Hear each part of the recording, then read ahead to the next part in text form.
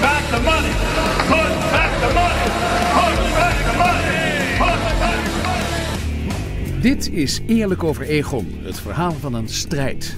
Van gewone Nederlandse havenwerkers die het opnemen tegen een van de grootste verzekeraars in de wereld. Een strijd tussen solidariteit en macht. Solidariteit van werkgevers en werknemers tegen de macht van het grote geld. Een strijd tussen rechtvaardigheid en kille winstberekening. Eerlijk over Egon. Een eerlijk verhaal over een oneerlijke strijd. Om geld. 770 miljoen euro. Het beklemde vermogen van het pensioenfonds van havenwerkers. 770 miljoen euro waarvan de rechter heeft bepaald dat ze aan niets en niemand anders mogen worden besteed dan aan de pensioenen van havenwerkers. Maar Egon noemt het zijn geld uit kille winstberekening. Dit verhaal begint bijna tien jaar geleden als een rijk pensioenbedrijf zichzelf te koop aanbiedt.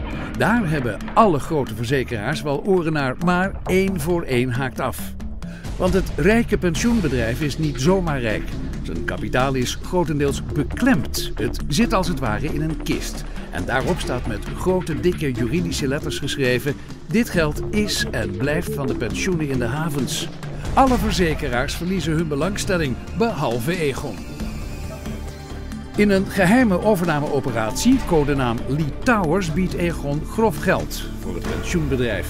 Het stelt één voorwaarde aan de koop. Het kapitaal in de kist, het beklemde havenpensioen, moet binnen vijf jaar vrij zijn. Ontklemd. Zo niet, dan eist Egon na vijf jaar de helft van de overnamesom terug.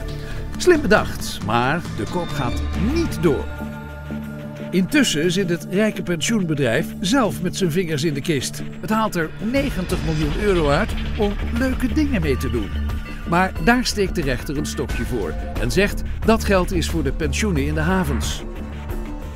Zes jaar na de mislukking van operatie Lee Tower slaat Egon alsnog zijn slag. Het betaalt 1,3 miljard euro voor het pensioenbedrijf. 1,3 miljard? En wat zijn dan nu de voorwaarden? En hoe zit het met die kist? Egon zegt dat de kist bij het pensioenbedrijf blijft staan, maar weigert de koopovereenkomst te laten zien. De haven staat op zijn kop. Zelfs in Australië en Amerika rinkelen de alarmbellen.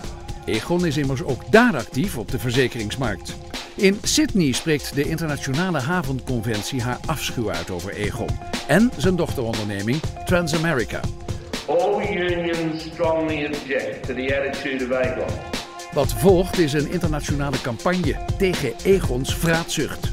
In San Francisco vormen vakbonden een picketline voor de deur van Transamerica. En dan komen de Amerikanen naar Den Haag voor nog een picketline.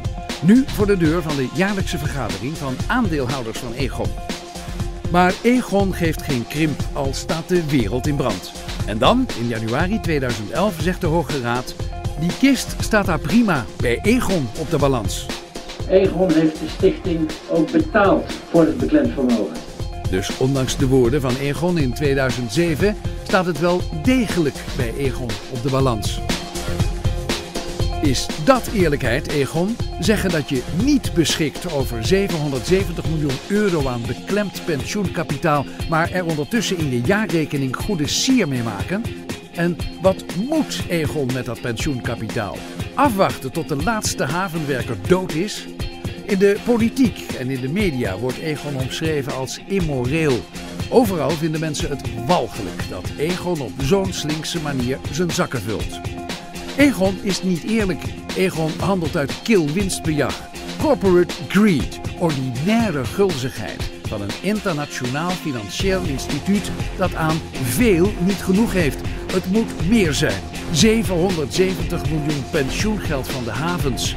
En dat is eerlijk over Egon. Een eerlijk verhaal over een oneerlijke strijd.